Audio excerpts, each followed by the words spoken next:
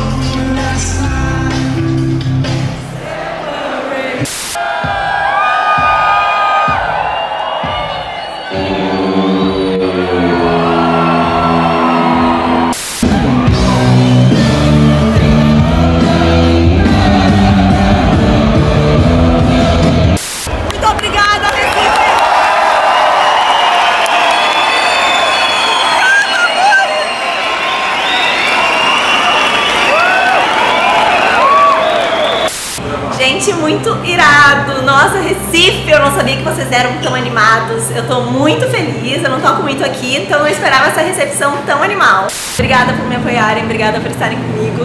E eu jamais vou esquecer de hoje. Obrigada. Mas aconteceu um negócio agora muito inesperado. Eu tava aqui no meu camarim, a equipe de Steven veio me chamar para ensiná-lo a falar palavras pessoal daqui eh, fala para expressar que tá muito feliz, que tá gostando e tal.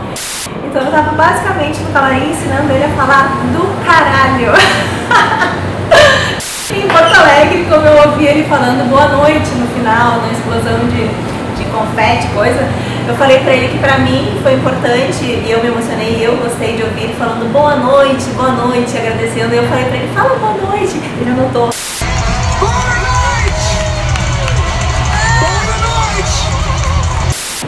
Anota? Olha que, que curioso. Ele pega uma palavra em português e escreve em inglês, tipo Recife.